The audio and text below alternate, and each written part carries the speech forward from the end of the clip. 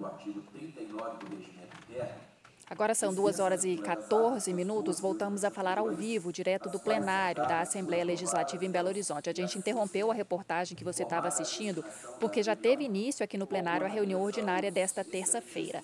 Ela foi aberta pelo deputado Duarte Bechir, que é o segundo vice-presidente da Assembleia. E neste momento, o deputado Rafael Martins está lendo a ata da reunião anterior. Vamos então acompanhar os trabalhos. Ex-deputado estadual e deputados Zé Viola e Charles Santos, este autor do requerimento que deu origem a esta homenagem. Registrada a presença dos convidados, houve-se o hino nacional e, após exibição de vídeo, fazem uso da palavra o presidente e, após entrega de placa, o senhor Daniel Mazzoni. Nesse passo, a presidência profere palavras alusivas ao evento, agradece a presença de todos e, cumprindo o objetivo da convocação, encerra a reunião convocando as deputadas e os deputados para a ordinária de amanhã, dia 22, às 14 horas, com a ordem do dia a ser publicada. Levanta-se a reunião. Em discussão a ata, não havendo quem sobre ela se manifeste, doa por aprovada. Com a palavra, o deputado Betão, para as funções de primeiro secretário, por ser leitura da correspondência. Pois não, presidente. Mensagem do excelentíssimo governador do estado, Romeu Zema Neto, mensagem número 147, 2024, encaminhando o projeto de lei número 2781, 2024, que autoriza o Poder Executivo a prestar contra-garantia à União em face das garantias por ela oferecidas nas operações de crédito externo a serem celebradas pelo Banco de Desenvolvimento de Minas Gerais, Sociedade Anônima, junto ao Banco Interamericano de Desenvolvimento. Mensagem número 153-2024, encaminhando o projeto de lei número 2934-2024, que autoriza a abertura de crédito suplementar ao orçamento fiscal do Estado em favor do Tribunal de Contas do Estado e da Procuradoria-Geral de Justiça e altera a lei número 24.964, de 9 de setembro de 2024. Lido as mensagens, senhor presidente. Muito obrigado, deputado Betão. Não havendo correspondência, é, a presidência passa a receber proposições e a conceder a palavra aos oradores inscritos para o grande expediente. Com a palavra, pela ordem de inscrição, o ilustre deputado Sargento Rodrigues. Com a palavra, o deputado Sargento Rodrigues. Na sua ausência, com a palavra, o ilustre deputado Caporeso disporá de até 15 minutos para a sua manifestação. Boa tarde, deputado.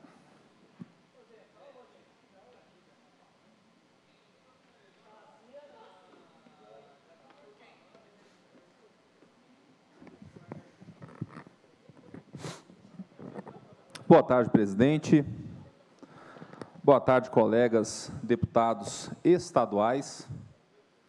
É definitivamente com grande alegria eu falo aqui do resultado do primeiro turno das eleições no Brasil, que demonstrou de maneira totalmente clara a força do presidente Jair Bolsonaro como maior líder do nosso país, a quantidade de vitórias conseguidas em primeiro turno foi algo simplesmente histórico, né? Em contrapartida, o PT amargou uma grande derrota. Foram 511 prefeituras para o partido do Bolsonaro, o PL, contra 248 do PT. Mas que brochada do presidente Lula, hein, gente? Presidente esse sem povo, não é verdade? Aonde está a força de uma pessoa que tem a máquina do governo federal não conseguir fazer sequer 300 prefeituras. Enquanto isso, olha, eu tenho comigo aqui uma, uma medalha que muito me alegra, que é uma das medalhas aqui mais importantes do Brasil, a medalha do presidente Bolsonaro, a triplo I. Com certeza, o presidente Bolsonaro tinha que criar essa medalha, porque o que ele fez nesse primeiro turno das eleições foi simplesmente uma lavada no PT, uma lavada na esquerda. Vejam o número de vereadores. O PL fez 4.924 vereadores. definitivamente, o presidente Bolsonaro está mais do que preparado para 2026. E ele rodou mais de 150 municípios em apenas 45 dias. Qual é a outra personalidade política que consegue agir com tamanho empenho e que consegue não apenas ser a pessoa que mais concentra população na rua em época de manifestação e momento de manifestação, ele é o melhor cabo eleitoral do Brasil, porque ele mostrou a sua capacidade, o seu prestígio para transferência de votos.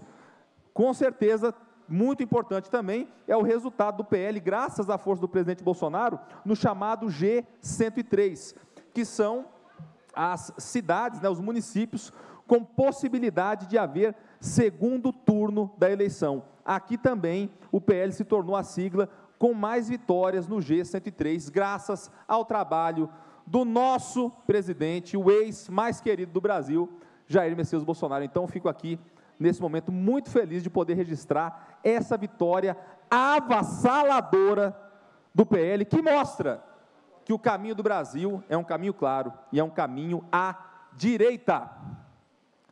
Mudando de assunto, é muito interessante o contexto que existe hoje dentro das eleições norte-americanas. Inclusive, me lembra até aquele desenho antigo, os Jetsons. Nós vivemos hoje um momento em que o futuro chegou. Até mesmo aquela célebre frase, né, que foguete não tem ré. Graças ao Elon Musk, essa frase que era muito utilizada no meu gabinete agora já não serve mais, porque foguete tem ré. Né? Que coisa interessante. O homem que é criador do X, que lançou em uma semana um carro não tripulado, robôs, inteligência artificial, que fez foguete da ré, menos de 15 dias depois está agora sendo ameaçado de responder um processo de ser preso pelo seu apoio à campanha de Donald Trump para a presidência da República.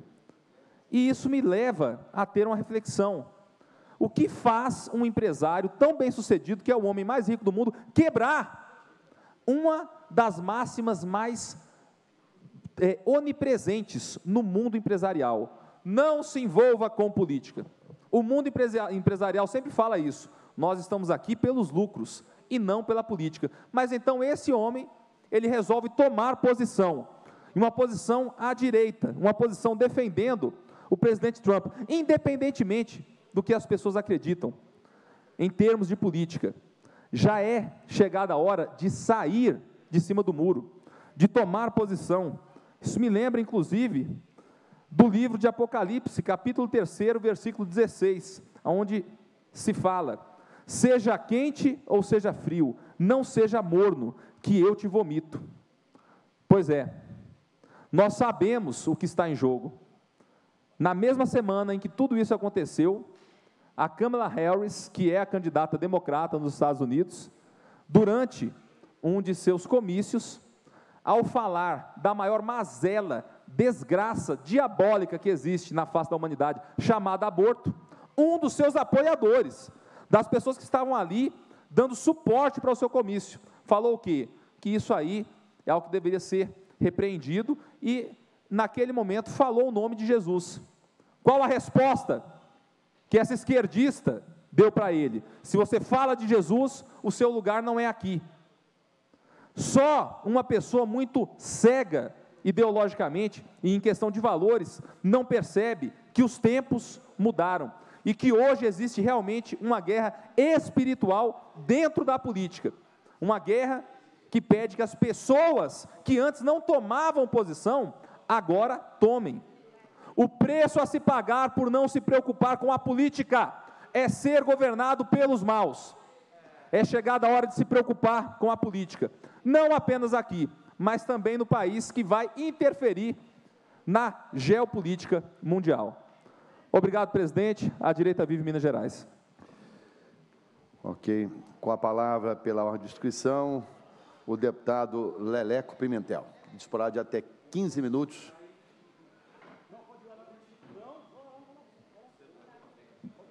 para a sua manifestação. Com a palavra, deputado Leleco Pimentel.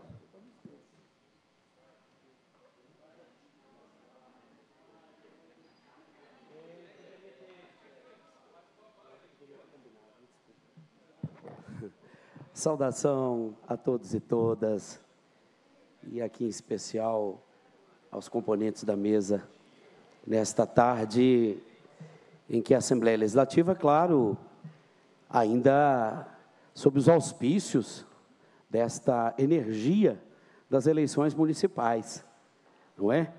Por isso, discursos muito eloquentes, que às vezes vão na conjuntura internacional e te diversam sobre análises é, com pauta moral e toda uma lógica de construção que às vezes a gente não vê a aplicabilidade disso na nossa vida, não é mesmo, deputado Betão? Então, a gente precisa voltar para o chão, colocar o pé para a cabeça pensar e compreender qual a lógica da gente ter hoje no debate, não é? Questões que tão, são, são tão distantes da nossa vida e que acabam colocando uma pauta moral de costume novamente aqui no plenário. E é claro que a gente rechaça isso, porque nós estamos aqui diante de uma sociedade que está enfrentando os problemas gravíssimos das mudanças climáticas.